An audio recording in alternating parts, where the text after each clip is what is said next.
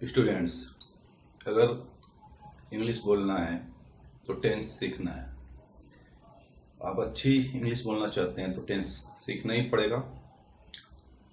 Tense में हम, हमें ज़्यादा कुछ नहीं सीखना होता है, बस प्रत्येक टेंस के, प्रत्येक सेंटेंस के स्ट्रक्चर को जानना होता है। सेंटेंस मुख्य रूप से चार प्रकार के होते हैं। अफर्मेटिव नेगेटिव इंट्रोगेटिव और इंट्रोगेटिव नेगेटिव सेंटेंस और टेंस के कुल तीन प्रकार होते हैं और तीनों के चार फॉर्म होते हैं। तो कुल मिला के आपको टेंस के बारह फॉर्म जानने होते हैं और चार प्रकार के सेंटेंस हैं तो बारह में फोर से मल्टीप्लाई कर देंगे तो फोर्टी एट आएगा। तो फोर्टी एट प्रकार के स्ट्रक्चर आपको जानने हैं। अगर आप फोर्टी एट प्रकार के स्ट्रक्चर जान गए तो फिर अच्छा इंग्लिश लिखने से आपको कोई नहीं रोक सकता। अगर आप अच्छी इंग्लिश लिख सकते हैं तो फिर आप अच्छी इंग्लिश बोल भी सकते हैं। और स्ट्रक्चर याद करना काफ़ी आसान होता है। कहने के लिए फोर्टी एट स्ट्रक्चर है, पर आप देखेंगे कि जो इसका पैटर्न होता है, एक निश्चित एक निश्चित तरीके से बदलता है। किसी में हेल्पिंग वर्क हम आगे कर देते हैं इंट्रोगेटिव बनाना हुआ तो।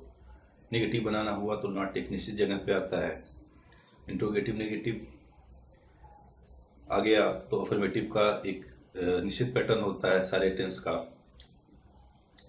तो आज मैं आपको प्रेजेंट कंटिन्यूस टेंस का नेगेटिव सेंटेंस बताने जा रहा हूँ।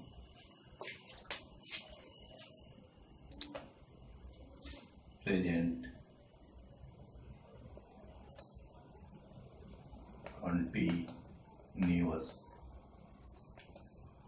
tense. Present continuous tense. Affirmative sentence का स्ट्रक्चर और कुछ एग्ज़ाम्पल मैंने पिछले वीडियो में दिया था।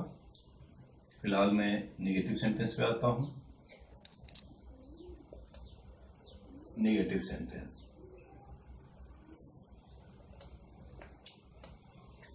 अफर्मेटिव सेंटेंस का जो स्ट्रक्चर था subject plus is am are plus verb का first form with I N G plus object negative sentence में नॉट आ जाएगा। और कहाँ पे आएगा? हेल्पिंग वर्क के बाद और मेन वर्क के पहले। Subject plus is am are में से कोई एक प्लस नॉट प्लस वर्क का first form with I N G plus object इतना ही है स्ट्रक्चर निगेटिव सेंटेंस का। सबसे पहले सब्जेक्ट रहेगा, फिर ई एम आर में से कोई एक सब्जेक्ट के अनुसार। उसके बाद नॉट आ जाता है, और के फ़र्स्ट फॉर्म में आई एन जोड़ते हैं, उसके बाद ऑब्जेक्ट लिखते हैं। अब अगर हम कुछ सब्जेक्ट ले लें, जैसे कि आई वी यू और कृष्णा। इन सारे सब्जेक्ट को हमें किसी वर्क के साथ फॉर्म करना है एक सेंटेंस के रूप में, और कोई वर्क अपने पसंद से हम ले ले रहे हैं, कोई भी वर्क जैसे मैंने बाई लिया, यहाँ पे एक बाई वर्क आ गया, और ऑब्जेक्ट भी कोई अपने पसंद का ले लिया जाए और बाई कर रहा है तो मान लेते हैं बुक बाई बुक को बाई कर रहा है। अब हमारे पास सब्जेक्ट है, वर्ब है और ऑब्जेक्ट है। इससे हमें सेंटेंस बनाना है, प्रेजेंट कंटिन्यूस टेंस में, और नेगेटिव सेंटेंस बनाना है। तो जैसा स्ट्रक्चर लिखा हुआ है, अगर हम आई के साथ बना रहे हैं तो आई के साथ हेल्पिंग वर्ड आता है एम और हेल्पिंग वर्ड के बाद हमको नॉट लिखना है आई एम नॉट और वर्क के फ़र्स्ट फॉर्म में आई एन जी तो बाइक में हम आई एन जी जोड़ के लिखेंगे तो बाइंग बनेगा। I am not buying book जो कि एक ऑब्जेक्ट है। इस तरह से अगर हम दूसरे सब्जेक्ट के साथ, जो कि वी है सेम वर्ब से ऑब्जेक्ट को फॉर्म करें तो we are not buying book यह सेंटेंस हुआ नेगेटिव सेंटेंस जो कि प्रेजेंट कंटिन्यूस टेंस का है।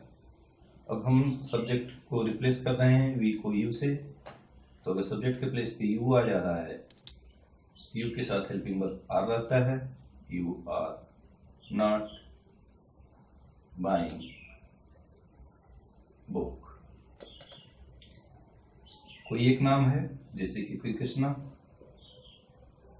तो एक नाम के साथ जो हेल्पिंग वर्ब होता है, वह इज़ है Krishna is not buying book और एक से अधिक नाम होगा तो हम आर का यूज़ करेंगे। कृष्णा के साथ अगर कोई और आ जाता है, राधा आ जाती है, या कोई और आ जाता है तो हम आर का यूज़ करेंगे। Krishna and Radha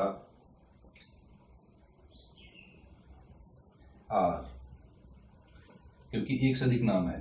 are not buying book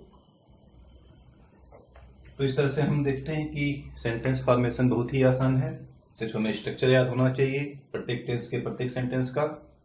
और स्ट्रक्चर याद करना भी बहुत ही आसान है, क्योंकि स्ट्रक्चर निश्चित पैटर्न पे बदलता है।